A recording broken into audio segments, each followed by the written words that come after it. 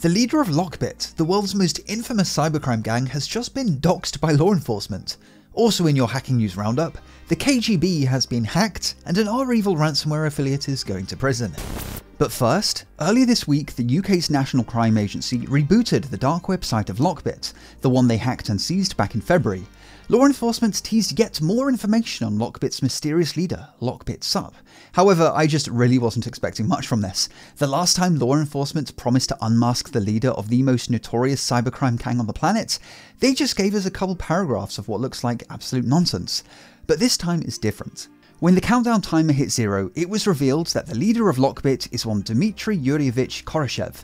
The guy is 31 years old and lives in Voronezh, Russia, and he's just had a $10 million bounty put on his head. That is, if you can lure him into a country that'll extradite him to the US. But if you do come across him, he is quite easy to identify, thanks to his inability to wear AirPods properly.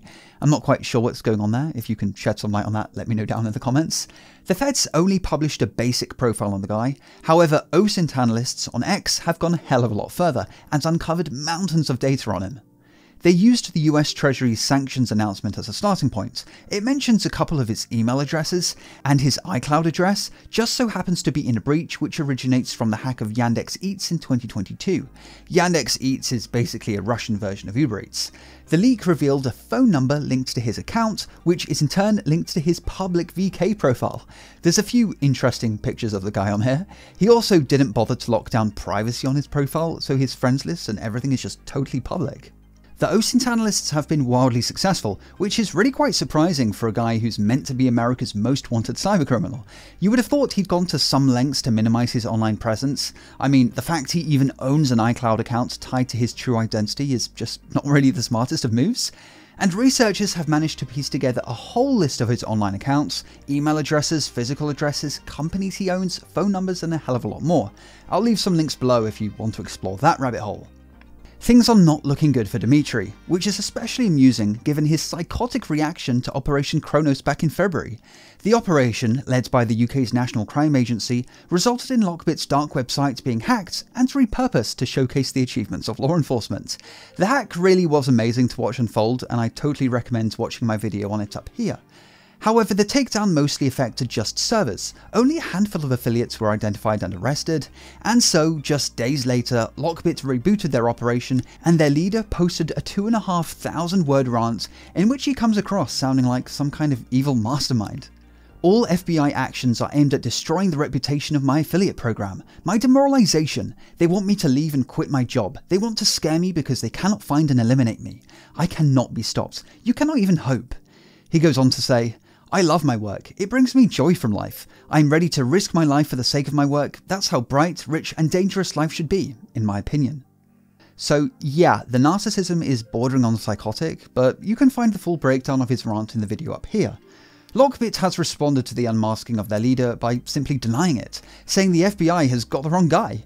And realistically, the FBI could be wrong. These developments are, of course, just accusations until he's proven guilty in a court of law.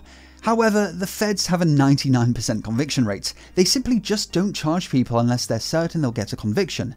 And regardless of Lockbit's denial, Dmitry has been slapped with sanctions in the US, the UK, and Australia, which means doing business with the guy, in other words, paying a Lockbit ransom, is now probably totally illegal in those countries.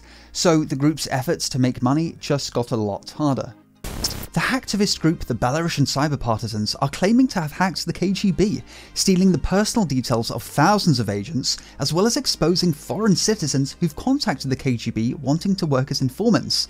Now, you might have thought the KGB just isn't a thing anymore. I mean, after the fall of the Soviet Union, Russia renamed the KGB the FSK and then eventually the FSB, which is what it's known as today. However, Belarus, formerly part of the Soviet Union, didn't change the name of their intelligence agency, and so it remains to this day the KGB. The KGB's website has been down for the past two months, and nobody knew why. Well, until a few days ago when the Belarusian cyber partisans claimed responsibility. And this isn't just some DDoS attack, they claim to have hacked the website in late 2023 and since then have been silently exfiltrating data. They've leaked the website's database as well as some basic log files, which really weren't all that interesting. However, what came next was a whole lot more juicy. The cyber partisans revealed that they'd grabbed the personal information of more than 8,600 KGB employees, and using all this data, the partisans have made a Telegram bot that can help journalists and activists figure out if they're dealing with an undercover agent. Idea being, you upload a photo, and then with the power of facial recognition, the bot will let you know if the guy is on the payroll of the KGB. But the leaks went one step further. The hacktivists revealed that they gained access to what seems like a database of KGB contact forms. This could be the spiciest part of the leaks because they reveal instances of people contacting the KGB offering to work as informants. From the forms leaked on their Telegram channel, many of these are just from Belarusian citizens living abroad looking for a job. However, I did read one submission claiming to be from a Bulgarian intelligence officer wanting to become a KGB informant. Bulgaria, by the way, is a NATO country. There's also a form in here from an Israeli citizen wanting to set up a meeting about some kind of issue of state security. The veracity of these leaks are totally impossible for me to verify, however this is definitely one of, if not the most interesting data dump I've seen leaked by hacktivists, and no doubt will get the attention of Western intelligence. And to help people comb through the list of 40,000 submissions, the cyber partisans have set up a website that you can use to search the database. This hacktivist group is pretty active. They spawned in 2020, but gained prominence during the invasion of Ukraine when they hacked Belarus's railway network, temporarily frustrating the movement of troops and military hardware to the border with Ukraine. The group is staunchly opposed to Belarus's dictator and the Russian regime, but in terms of this latest hack, they claim it was in response to the KGB's chief accusing the group of plotting attacks on Belarusian critical infrastructure, such as nuclear power plants, which the group totally denies. However, ironically, just a week or so later, the cyber partisans revealed that they'd hacked Grodno Azot, a state-run producer of nitrogen compounds and fertilizers. Whether this counts as critical infrastructure is debatable, but regardless, fertilizers are pretty dangerous stuff, as evidenced by the 2020 Beirut explosion. Need I say more?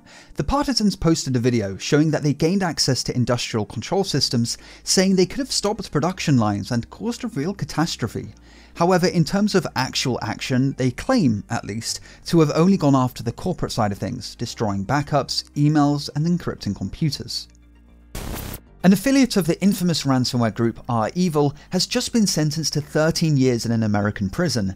The feds claim that 24-year-old Yaroslav Vasinskyi was involved in over 2,500 ransomware attacks, demanding over $700 million from his victims. The guy was found with a good few Bitcoin and $6.1 million in cash, a nice little treasure trove which could have lasted a lifetime. However, Yaroslav, a Ukrainian citizen, didn't seem to understand that one of the trade-offs of becoming a cybercriminal kingpin that primarily targets American companies is that you don't get to go on holiday. You forfeit the rights to travel to any and all countries which have an extradition treaty with the United States. But in 2021, he made the mistake of crossing the border into a small Polish village where he was promptly arrested. And by the way, this was before the war. We don't know what intel led to his arrest, though there is a $5 million bounty on the heads of REvil ransomware affiliates, so it wouldn't be at all surprising if one of his former comrades hopped on America's Rewards for Justice Onion site and just ratted him out. But regardless, after being arrested, he was quickly extradited to the United States, where he'll be spending the next 13 years in a small metal cage. One of the ransomware attacks that Yaroslav is accused of playing a part in was the attack that exploited Kaseya VSA in 2021. This software is used by thousands of companies worldwide to help their system admins manage their networks remotely.